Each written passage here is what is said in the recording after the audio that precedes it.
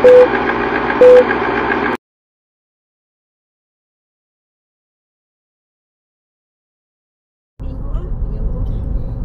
ko na akong trabaho, kaya ako muna trabaho, nanginahanglan ko sa trabaho na eh.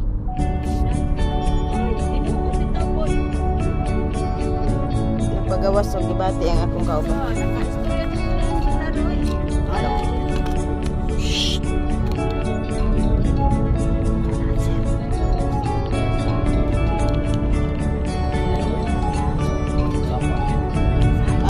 podcast.